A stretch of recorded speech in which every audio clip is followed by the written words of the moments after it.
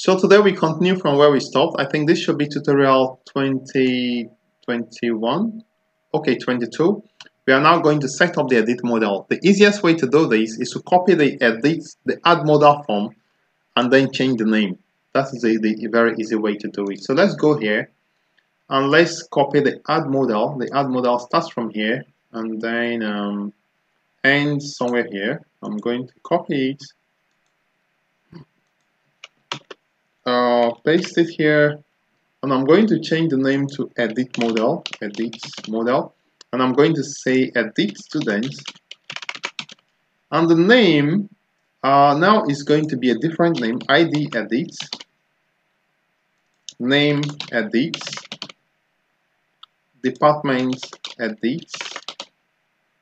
Uh, updated on edit so that it doesn't have the same name as the one uh, as for the ads model.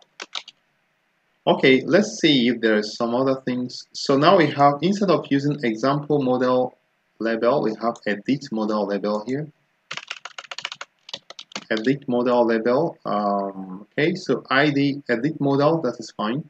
The action now is going to be update, remember? So the endpoint for edit operation is update and the method at this time is going to be puts right? Good.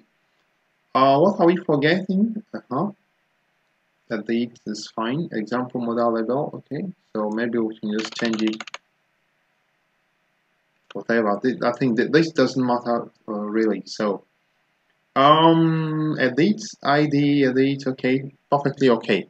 We now need a button that is going to launch this form so what we are going to do is to go to the table and we are going to add one additional row, additional column to this table.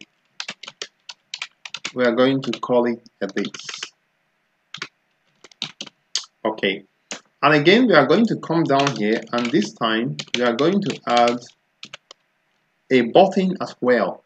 So we are going to copy this button. We're going to copy this button and put it in between here. And data target this time is going to be edit model. Mm -hmm. uh, btn btn primary. Let's change the B, uh, btn to btn warning. Okay and the type is button and i think uh, this is going to be edit okay so hopefully everything is okay so we've added a button on the table. So click on this button, hopefully it's going to launch the edit model. So let's save and let's run this to see to see what happens. Meanwhile, let's check where we are. So this is what we are doing now. Uh, we've set up this, change the names of the test fields. Um, the table we added six button edit, then change the button set to edit model Okay, so this you need to take note of. You need to change it to an anchor after now. Alright, so let's come here and let's refresh this page. And now you can see that we have an edit button. So let's click on it. So you can see it displays an edit model and tells us edit today. But there is it's very it's empty. There is nothing displayed in there. So we need to find a way to grab the item that is uh, to be edited and put it in this form and then complete it. That we are going to do in the next lesson. But before we, before I go to the next lesson, there is one step I need to take. This button, I'm going to actually uh, change it instead of a button. I'm going to change it to an anchor tag, an anchor tag, uh, data target, maybe not necessary. And this time I'm going to give it a class which we already have. Data toggle is model. Okay.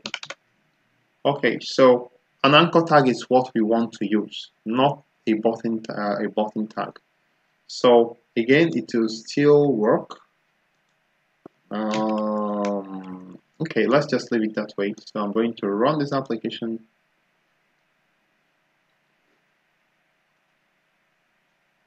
But now when I click, it's not going to show anything because we are actually going to use a script, a JavaScript code to launch the modal form this time. So let's get back here. If I refresh the page, you can see the edit still shows up, but this time is an anchor tag, uh, so nothing happens. So that is what we are going to manage in the next lesson.